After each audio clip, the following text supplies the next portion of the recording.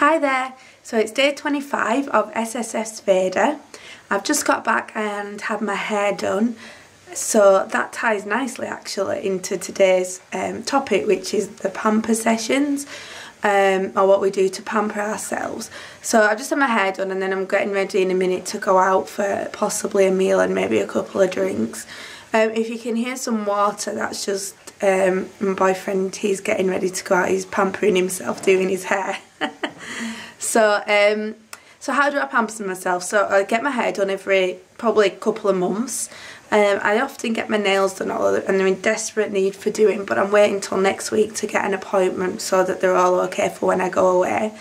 And then I'm fortunate enough to have um, my own health and wellness business, which I have mentioned in previous blogs.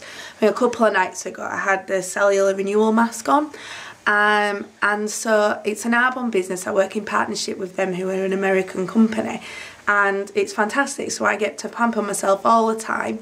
I get to build my business and I get to sort of get paid for just using the products that I'd use. So I feel that I'm pampering myself when I'm washing my face because we, I'm using really great products.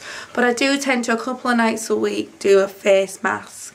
Um, and that's kind of I suppose an extra of what I would normally do and sometimes I also do like a little foot soak where I just soak my feet in some of the products, exfoliate them and moisturise and all that kind of stuff. So that's really fun and relaxing.